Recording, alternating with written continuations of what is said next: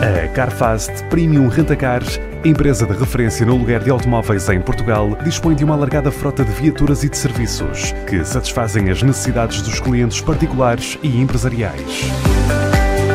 A Carfast, com agências na Trofa, Maia e Vila do Conde, conta com uma vasta rede de representantes a nível nacional, da qual faz parte a Negrel Car, centro de assistência auto com oficinas em São Tomé de Negrelos, Vila das Aves e na zona industrial de Mide, em Lordelo.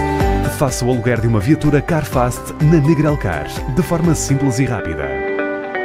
Negrel Car, representante CarFast em Vila das Aves e Lordelo.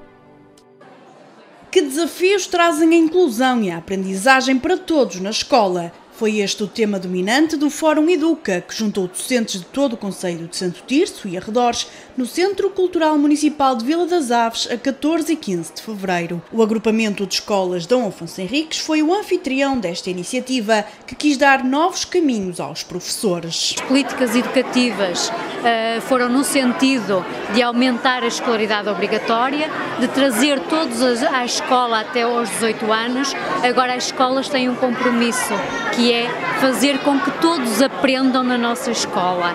Eh, de facto, nós temos de olhar às características de cada aluno, temos de olhar às diferenças, à expectativa de aluno a aluno para conseguirmos garantir o sucesso de todos. Para Severina Fontes, a grande missão dos agentes educativos passa por chegar a todos os alunos, principalmente àqueles que não querem estar na escola. Desse desígnio resulta ensinar a diversidade, privilegiar a formação contínua e mudança de práticas e mentalidades para que a escola seja um local de sucesso. A primeira, a primeira abordagem que se faz perante uma turma, o professor tem a missão de os conhecer e só depois de os conhecer é que pode atuar. As escolas têm diversas ferramentas, diversos recursos, têm psicólogos, têm uh, professores de várias áreas, uh, têm professores que são vocacionados também no ensino especial, ou seja, que têm técnicas para alunos portadores de de deficiência, tem auxiliares com formação um,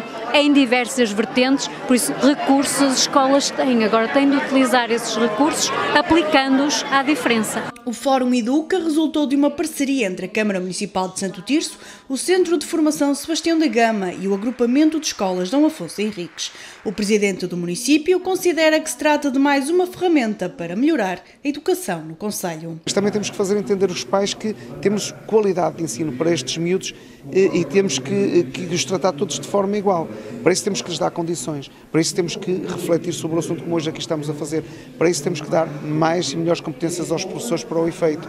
Para isso é que nós temos eh, diversos eh, eh, centros diferenciadores para estas pessoas com na área, de, na área da deficiência. A importância é exatamente isso, é este ser um fórum de reflexão, onde se possa falar destas como de outras matérias de forma aberta, transparente e naquilo que, sem estar a olhar, sem pensar em tabus, sem olhar para aquilo que é o ensino eh, do curso conforme está desenhado, pensarem fora da caixa, discutirem as ideias, discutirem os modelos educativos, para depois daqui surgirem eh, novos modelos educativos, porventura. Ao longo de dois dias, o Fórum incluiu oficinas paralelas sobre temas como a musicoterapia, o desenvolvimento de projetos de robótica, a proteção de dados e a cibersegurança ou o desenvolvimento de estratégias metodológicas de ensino artístico.